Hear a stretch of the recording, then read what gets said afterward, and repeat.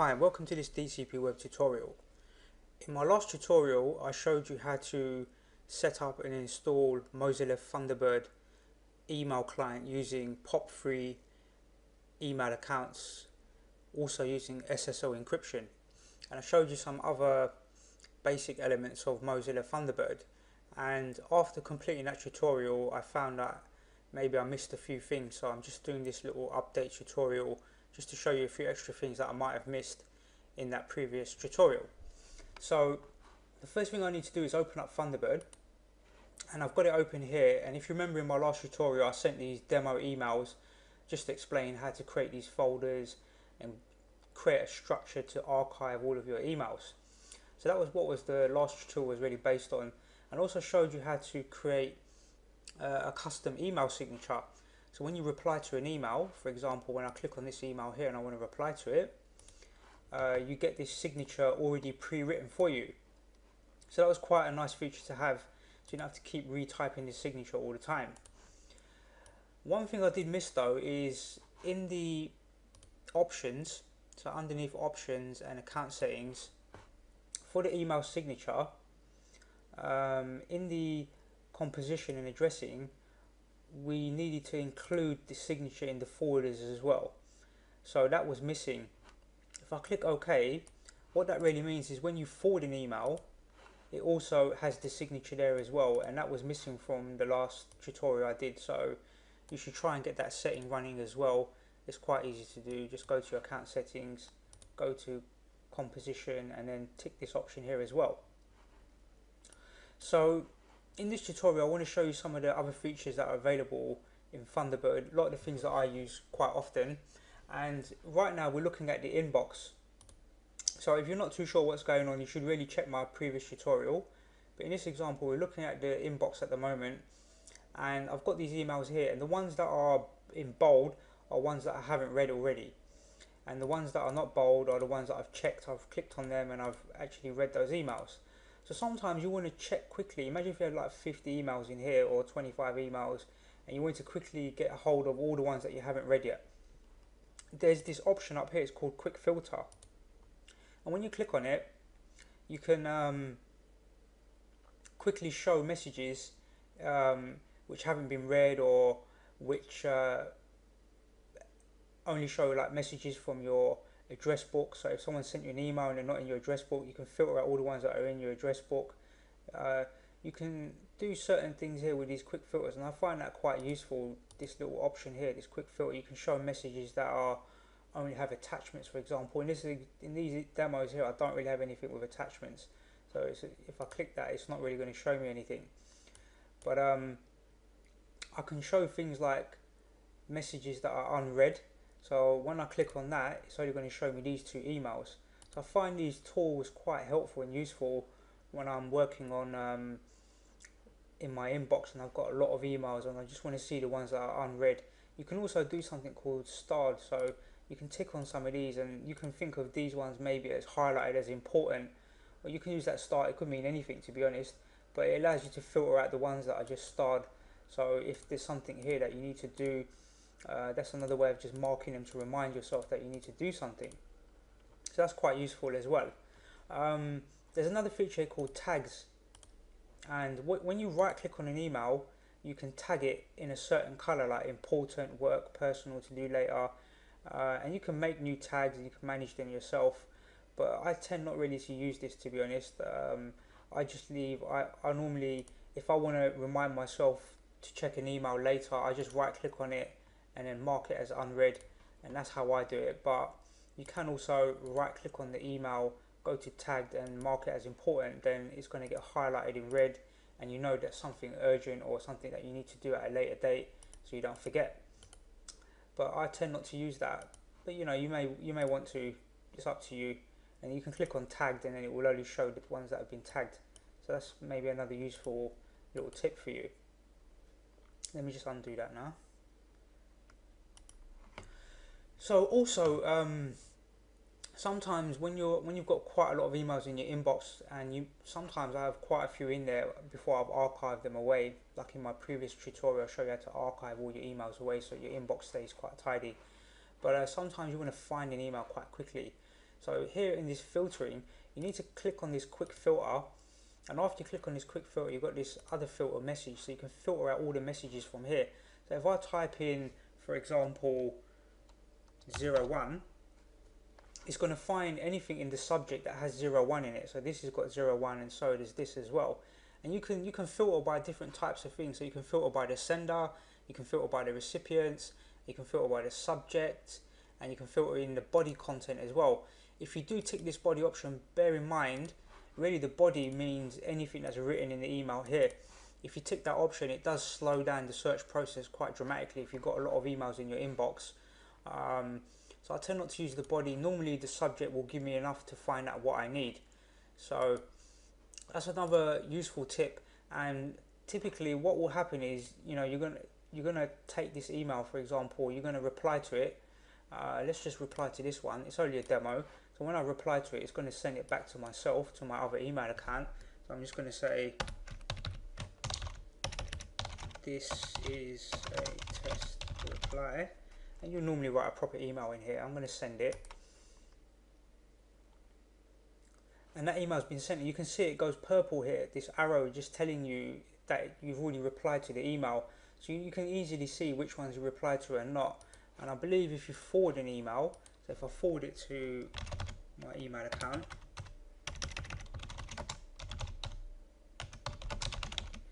And if I send this one, it shows a different type of arrow. So the purple ones are being replied to and these ones have been forwarded. Normally I don't use forward, I normally just reply to the email because typically if someone writes you an email, when you reply it will automatically put the email address in their email that was uh, when, what they used to send to you. So forwarding, you normally forward an email when you want to send it to someone else. Um, but reply to normally, you know, I normally use this, and if I if I want to send it to someone else, I just delete that email and re replace it with a new email. So that's that's something you can do there. Also, another tip is um, if I to, if I were to click on this this example email here, when I reply, you can actually add more recipients in the list. So you can keep on adding more people. So you could add another email here and you could send the email to two different people and if you if you click on the drop down list you've got this CC this just means carbon copy and it will just send an exact copy of the email that you're going to send to this person and then carbon copy it to this person. Uh, it's, it's almost the same as the two to be honest there's not much difference between these two. But you have something called BCC blind carbon copy. So if you wanted to send an email to this person but you also wanted to send the same e email to this person, but you didn't want to know, you didn't want the first person to know you sent it to this person as well, then you can use this thing called blind carbon copy. So when I send this email out, they will both receive it, but the first one will not know that the second one also received this email. So that's uh, a little tip there. I hardly ever use blind carbon copy, but it's there if you ever need to use it. I'm just gonna, I'm not gonna save that or send it. Um, so as I've been sending, I've sent out a couple of demo emails, you can see them in here. And what tends to happen is I will send an email. So let's say this client 01 email, this client email 01, I've sent that. So I'm going to go to this folder and put it in here. Really, this represented the company name, the company that sent me the email. All of these are the different companies that you would list here in your clients. And then you do the same for your suppliers. And if you have other, another type of uh, person in your organization, maybe you've got internal staff or something like that, you may have another folder here for internal staff and so forth. So as I, as I send reply to these emails, these ones for example, this is, uh, this is uh, client 5, I start to drag and drop them into the folder so I can get clean my inbox. I, I see less emails now and that's quite important for me. But if, um, let's say if client 1 replied to an email. I sent them an email back and they sent me an email back asking a question and I wasn't too sure what I sent them in the first place. All I really need to know is the subject or the client's name because then I can go to the sent folder and then I can search for client 01 and I can check to see what, what did I reply. This is a test reply. So the original email stays in this box here as the client's archive on your system and then you've got this sent folder where you can filter out what you sent back to them Um, this is another feature that I use quite often. So if someone sends me an email and I reply to it, and then they may phone me and ask me a question about the email I replied to, then I can go to the sent items, find that particular email, and then I can check what I said, and um, it helps me to work out any sort of questions they're asking. I can quickly find the answer to those questions. So that's another useful tip, searching the sent folder using the quick filter. That's quite a useful tool. I use that quite often and you'll find that your sent items are going to get quite large. You're going to have thousands. In my sent items, I've got thousands of emails in here. I don't really archive them or manage the sent items. I just use it as an archive to check later what did I send and who did I send it to and what was the email about if I need to reference it back again. So that's another little tip there for you to help you um, organize and manage your emails. So um, sometimes you may want to filter out or group your emails together. So here you can click on date and you can have them ordered by date. That's quite a useful function. So you can put all the most recent ones at the top and it will go in by date order. I've only got some sample ones in here, but if you had loads of emails here from different days, then you'd have the most recent at the top and the older ones at the bottom. You can filter by who sent the email as well. Again, this is only an example, but you would have different email addresses in here from all the different people that sent you emails. So when you click on that, you typically see all of these emails grouped together and you see more of them grouped together below. That's another nice feature. And you can clearly filter or reorder by the subject name as well. So typically, so normally, yeah, typically when you send a, an email back to a client and they reply back to it, it's going to have the same subject, and you can group those together. So you may see email client three, this this email. You may see four of them in a in a sequence, so you can see what happened. Um, that I use quite often as well when I'm using Thunderbird. So this was just a, a quick update just to show you some of the other features uh, there's there's quite a lot more you can do with Thunderbird, but these are really the, the main features that I use on a daily basis. I tend to archive away my emails as I go through and reply to them. That helps me to keep my inbox clean, and I normally use this sent section here to go and check what emails I've sent uh, for future reference. Um, this is this is what I typically do. So let's see if there's anything else we've missed. We've got deleted items here. So in this folder, if you ever delete an, an email but you need to get it back again, so this is this supplier for email, I deleted it. If I want to get that back, I can easily drag it from the deleted items back into the inbox and then I'll have that email back again if I need to reference back to it. That's a, a simple way of getting back to it. But if you go into this deleted items and you if you drag it to the deleted items or if you right click on it and delete the message then it will stay in here but if you go into here and delete it one more time then it's pretty much gone. It's gone for good you could say.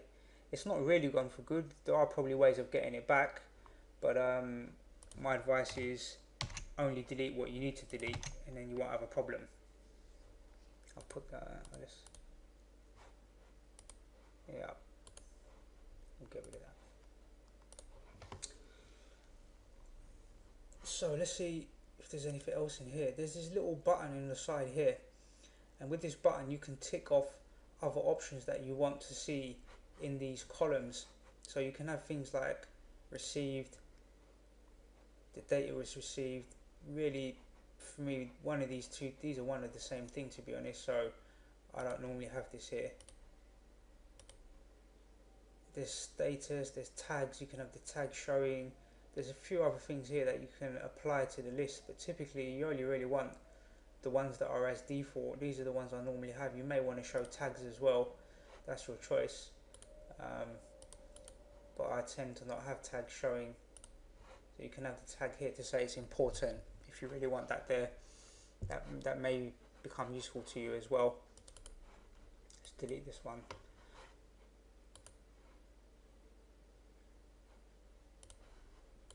So when we when we right click on the message so if I take this message here and I right click on it open message in new tab open message in new window open in conversation. So if you select open in new tab it creates this new tab for you here.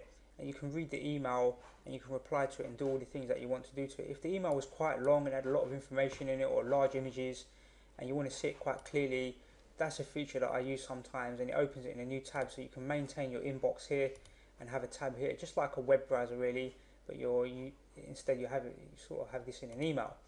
You can also right click and open a new window and then you have a separate window where you can drag it across and um, you can you know you can have your your message here and you could even have the main application sitting next to it. So that's another feature. I don't normally do that but that's something you might want to do. Let's see if there's anything else here you've got like reply to all senders or reply to all reply to list. So there's quite a few different options in here. You may want to read up on um, Mozilla Thunderbird website. There's a help section you can get to I'm pretty sure from here. You can get to the help section and you can find out a lot more information about the tools and all the different things that you can do with Thunderbird. But I typically just use it as a standard email client and it works very well for me. So it shouldn't be any problem working for yourself. So I hope you enjoyed this tutorial. It was only a quick demo and an update to my last tutorial. If you haven't seen that last tutorial it was about getting really this email address working as a encrypted email on Thunderbird. So you might want to follow that tutorial and a lot of the things that I did in that tutorial will help you to get a better understanding. And this was just like a quick update just to clarify a few things that I might have missed during my last tutorial. So I hope you enjoyed this tutorial and I look forward to seeing you on the next one.